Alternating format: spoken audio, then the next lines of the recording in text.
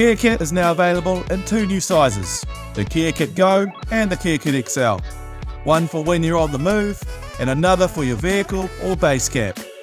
Both kits feature our signature modular compartments. These organise your gear into the pillars of outdoor survival, so you can quickly respond at a moment's notice. The extensive internal organisation makes your gear easily visible and provides plenty of room for customisation.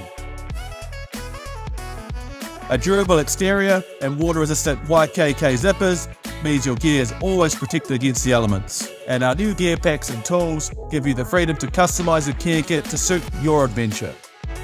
The Kea Kit Go is your personal survival kit for when you're on the move. The compact case features modular compartments that fold out flat for easy access, with space for both your tools and your medical supplies. The expandable hinge and magnetic buckle allow you to adjust your carry to suit any adventure. And it features multiple mounting options, making it easy to attach anywhere. For adventures near or far, the Kea Kit Go is your most essential carry.